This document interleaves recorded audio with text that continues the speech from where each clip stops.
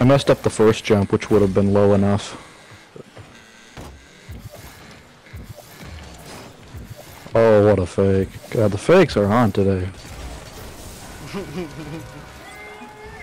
Got to do it to me.